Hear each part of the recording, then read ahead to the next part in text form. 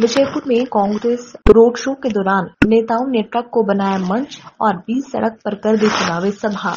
BJP नेताओं ने जताई आपत्ति, एफआईआर के लिए अड़े। विजयपुर में भाजपा नेताओं ने आरोप लगाते हुए एक शिकायत एसडीएम से की है कि कांग्रेस नेताओं ने बिना अनुमति के बीच सड़क पर ट्रक लगाकर चुनावी सभा कर भाषणबाजी करके आचार संहिता का घोर उल्लंघन किया है। लगभग तीन घंटे तक रोड को ब्लॉक करके रखा गया था। कई लोगों को बहुत परेशानी उठानी पड़ी, जिसके लिए वहाँ मौजूद सभी कांग्रेस नेताओं पर एफआईआर दर्ज की जाए। इसके लिए भाजपा तहसील और थाने में आवेदन भी दिया। वहीं एसडीएम उदयवीर सिकरवार ने शिकायत पर कार्रवाई करते हुए कांग्रेस सभा की अनुमति लेने वाले हरिकिशन कुशवाहा के खिलाफ एक नोटिस निकालकर कल तक जवाब पेश करने को कहा है। एसडीएम श्री शिकरवार ने हमसे बात करते हुए बताया कि हमारे कार्यालय से मंडी प्रांगण में कार्यक्रम सभा की परमिशन मांगी गई थी, मगर उन्होंने तहसील के सामने मुख्य सड़क पर एक ट्रक से ही सभा को संबोधित कर दिया, जिसकी शिकायत अब बीजेपी नेताओं द्वारा हमसे की गई है।